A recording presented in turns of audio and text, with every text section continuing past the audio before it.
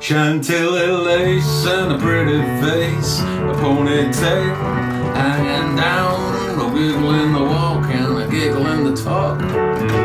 Makes the world go round. There ain't nothing in this world like a big eyed girl that make me act so funny, make me spend my money, make me feel loose like a long neck goose, like a girl. Oh, baby, that's what I like.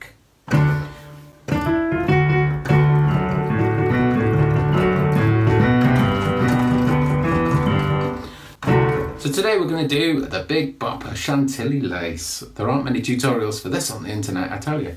But it is one of the, well, one of the strangest but greatest uh, rock and roll songs of all time. Of course, the Big Bopper tragically died in the same plane crash that took out Buddy Holly. Um, so, yeah, he never got a chance to really uh, prove to the world whether he had a lot more songs in his under his belt or not. But uh, that was quite a tragedy. Um, but nevertheless, uh, but um, this is this is it. This is what he was famous for. So tell me what you think below. Did I make you smile? Did you stay a while? Hit subscribe? Come on, don't be shy. Cause if you ring my bell, you can always tell the second I release a new tutorial.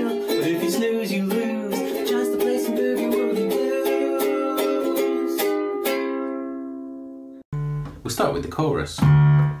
Chantilly, Chantilly lace and a pretty face. So in the bass, we're just going. This is just a D chord, walking D chord, the walking bass. Then we've got the G.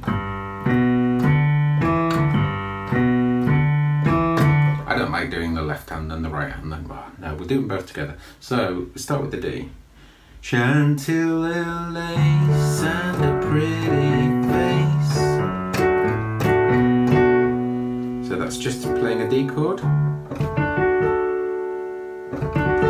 My favourite D chord because it's easy to change to the G.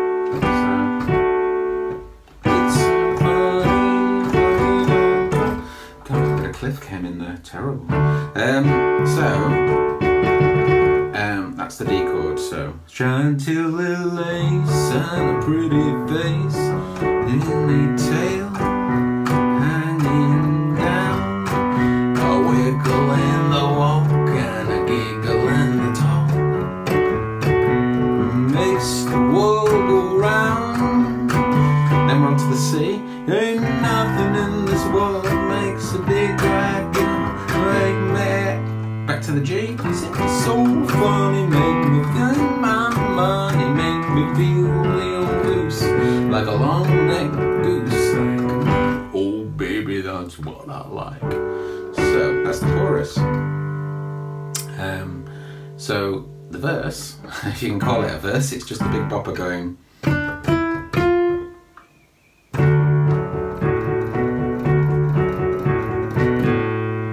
So again, we've got the same left hand, but we've got a, just a different rhythm going. That just goes up, chromatically there.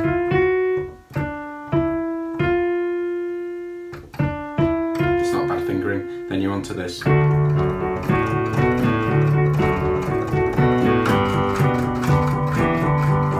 You could actually put the seven down.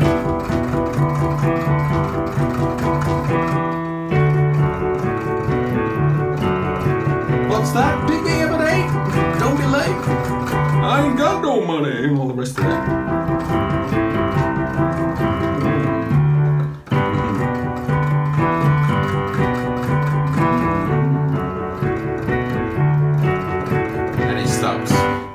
Baby, that's what I like. It's just on the uh, probably on a C, uh, G7 stop. Oh baby, that's what I like. It's a great song to play. Hey, every now and again, I just get on the piano and play a big bit of Big Bopper. Why not?